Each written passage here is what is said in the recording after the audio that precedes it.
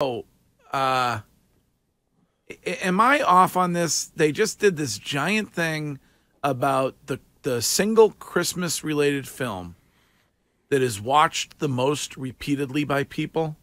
And did you see what won? Well, I'm between two. Passion of the Christ. Elf.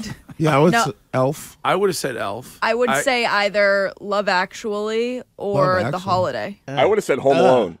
Curtis, you would have been right. Yes. That makes sense. Yeah, that makes sense. It sense. does. Yeah, it's Yeah. like my number two Christmas movie Yeah. after Elf. Yeah. Home Alone is up there. Of I course. mean, Home it's Alone in, is awesome. It's in my top. I, I mean, I, I don't know. Sticky it's in my Bandits, the top. Wet Bandits. It's in my top ten. I top don't even- ten. Two I better than one. I, I don't know. Like a Christmas story All is uh, arguably my what? Yeah, Stop. you're not going to Overrated. rewatch that Christmas over and Story over is- again. I would. I, Overrated. I watch that every Christmas. You Really? do, but remember your age. I sit right down on my. He tries to forget it every day. I sit right down on my couch. Yeah. And I flip between. Your tiny little TV. I, I flip between a Christmas story and staring at my uh, framed photo Right. of myself.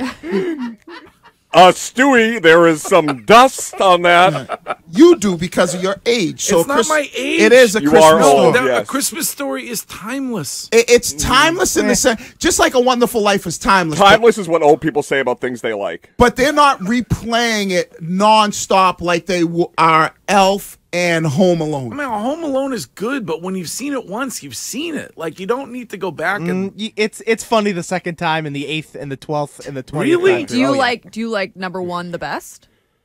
What's number one?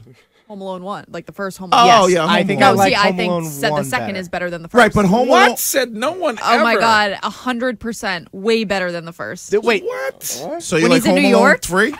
The so second much better. Nobody liked any of the other Home Alone films. the second one. No, no, the second one's great. Yeah, the second one's It's I. not great. It's It's I. better Stop. than the first one. No, I don't know that it's better, but nah, it's, it's not really better than good. the first one. The mm-hmm. second one's a I, but it ain't better than the first one. And then It- what's it. Three? And isn't there like four or something now? Yeah, they just came out with a new one, I believe, in the last two Like, years. I can't remember- Also, how how does Christmas Vacation get no love? That's good. Like Yeah. Your age, man. Your age. it's not my age, Here- Wiki, here- you jackass. It is. You are I, old. listen, I'm, I, I'm not old. I, I, I, look, I like the Christmas story. I like, I like vaca- I like Christmas Vacation with Chevy Chase as well. Greg's a big Ernest goes to jail guy. But which one do you think they're gonna play more on a loop?